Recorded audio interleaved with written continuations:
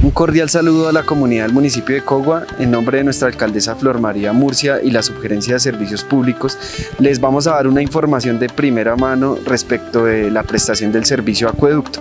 El primer tema eh, importante son los cortes no programados del servicio, los cuales se han eh, se han presentado por la falla en los flotadores del sistema, los cuales se están corrigiendo mediante el contrato 224-2022, que es la optimización del sistema acueducto eh, del municipio. El segundo, eh, el tema de la coloración en el agua.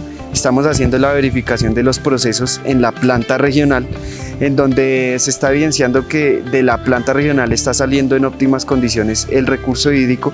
Sin embargo, en el transcurso, en el recorrido de la tubería hacia el municipio, esta agua se está, está presentando una coloración por lo tanto, estamos haciendo las revisiones en todo el tramo de la tubería con el fin de verificar de que no haya ningún daño que esté como tal eh, haciendo o contaminando o provocando este, esta coloración en el agua.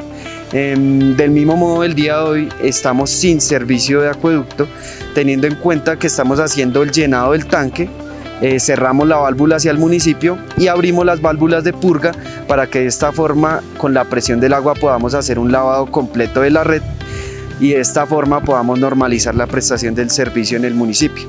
Eh, les pedimos por favor que tengan paciencia, sabemos que es un tema incómodo, eh, pero que desde la sugerencia de servicios públicos estamos haciendo todas las acciones para poder solucionar el tema.